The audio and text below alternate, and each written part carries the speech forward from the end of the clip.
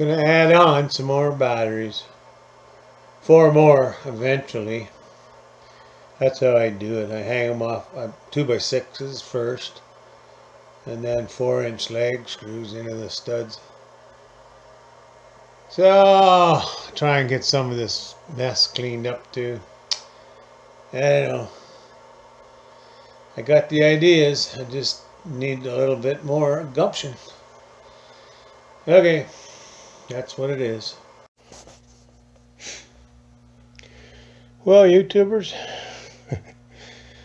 I finally got that rack off of there. That's quite a bit of work. But it's going to free that up.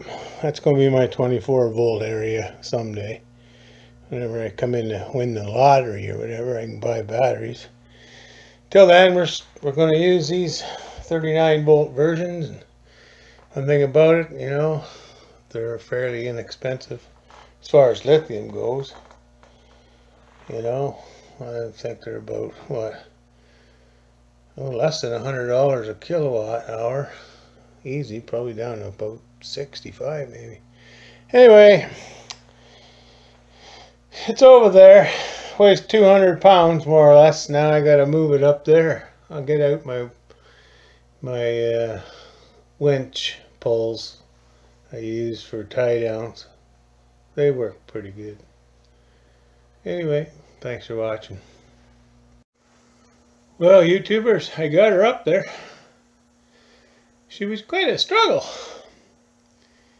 But uh, I had a couple of ratchet straps and I ratcheted her up there. Just about the limit to those ratchet straps too. Anyway, one day at a time. Today that's the job. Now I quit.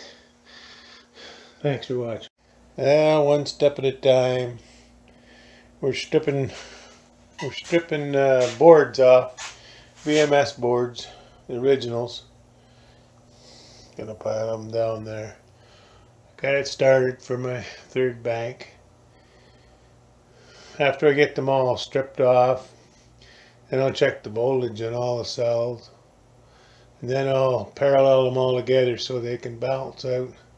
And I'll get a voltage that's balanced out.